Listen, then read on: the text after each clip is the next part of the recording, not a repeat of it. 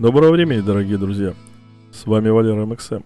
Я думаю, что сегодня многие увидели именно такую картинку, когда попытались запустить свою любимую игру Grim Dawn с помощью утилиты Grim Eternals. Да, вышел патч версия 1.9.8, но, к сожалению, человек, который занимался поддержкой данного продукта, я про утилиту, уже давно не выходит на связь и неизвестно, будет ли дальнейшая поддержка ее этой утилиты. Играть в обычную версию игры без Eternals уже, конечно, невозможно. Особенно тем людям, кто привык и делает это давно. Удобства несравнимые и несопоставимые. К сожалению, сегодня я тоже прочувствовал это на себе во время прямой трансляции. Также это почувствовали и разработчики, которых завалили сообщениями о проблемах подобного рода. Слава богу, господин Зантай прислушался к мнению сообщества и сделал минимальное движение, но он сделал его, дал возможность откатить игру на версию 1.9.7. Как же это сделать? Давайте посмотрим. Заходите в вашу библиотеку Steam, находите там игру, нажав правой кнопкой на игре, выбирайте свойства и переходите во вкладку бета-версии. Здесь бета-тестирование, выбирайте версию 1.9.7, закрывайте и запускайте игру. Видите, проблема не исчезла. Но говорят, что это решается с помощью перезахода в систему. Давайте проверим.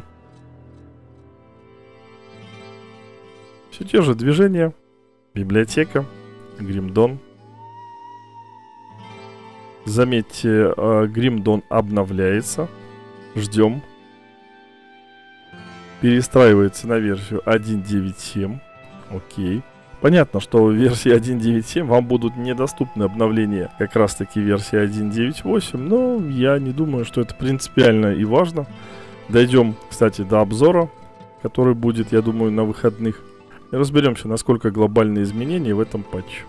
Все, видите, произошли. Произошло обновление. Закрываем Steam. Запускаем игру с ярлычка Grim Eternal.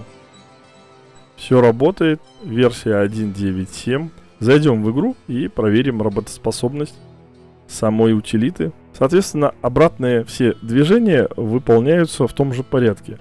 Выход из игры, перезаход э, в э, свойства, выбор э, обычной версии, то бишь нет, и снова перезаход в Steam, чтобы подтвердить изменения. Ну, как видите, конфигуратор со всеми э, выбранными вами э, галочками к вашим услугам.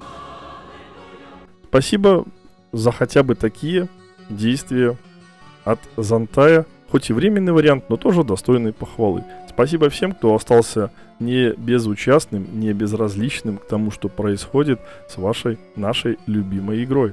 А с вами был Валера МХМ. Жмакайте пальчик вверх, подписывайтесь на канал, заходите на трансляции, будет интересно. Всего хорошего, дорогие друзья, берегите себя и до новых скорых встреч. Пока-пока. Ты заходи. Если что,